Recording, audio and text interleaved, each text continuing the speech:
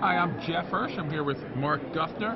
He's uh, founder and partner of TheOptionsEdge.com, also a CFA. And um, you're going to be talking later today about how to structure options trades for maximizing profits. Can you give people a little bit of what you're going to be talking about there? Well, certainly. um, in trading options, you have to remember that you need to get both your timing and your direction right.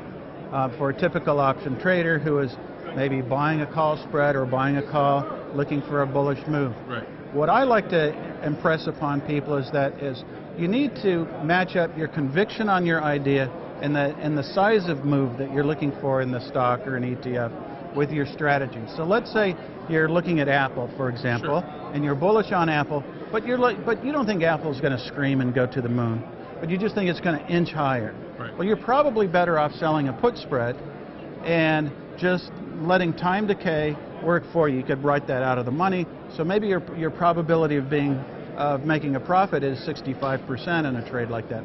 Whereas if you bought a call spread, maybe your your probability of profit uh, might be 35%. So you increase your odds. Now your payoff is not quite as big, but you increase your odds of being right. And, and what you really want to do is be right most of the time. And that's without owning the underlying. That's right. Not a covered call right. Not a covered call right. So generally, uh, what a lot of the folks that subscribe to my service are looking for directional moves. So they say that they or they're looking for Amazon to move higher. Um, Amazon's a very interesting animal all by itself because mm-hmm. it trades far more volatile than is priced in the options. So it's one of the few stocks that you want to buy a call spread on if you're if you're you're bullish on because you're going to get probably get a bigger move than what's implied in the price of those options. And what about something where you have a higher conviction of a bigger move, either upside or downside? What, what type of a, a, structure would you put there if you have? There, there's two. You can go with the call spread, but one of my favorite is called the short put spread risk reversal. Long name, complicated.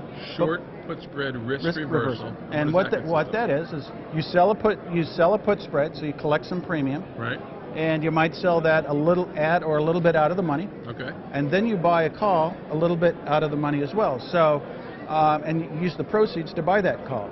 So now your upfront cost is, you know, maybe it's it's zero. Sometimes you can structure it, you can get a little credit when you do that. Sure. But your downside is that if the trade really goes against you, you can lose a little bit more than if you bought a, a, a call outright. So that structure is a synthetic call, if you will and With a little more protection. And it, but it gives, juice on the upside. It gives you a lot more juice on the upside than just buying a call spread. A little bit less protection on the downside. There. That's right. Than buying an outright. more risk for more reward. That's right. Excellent. Thank you very much, Mark. You're Thank well, you guys for welcome. joining us.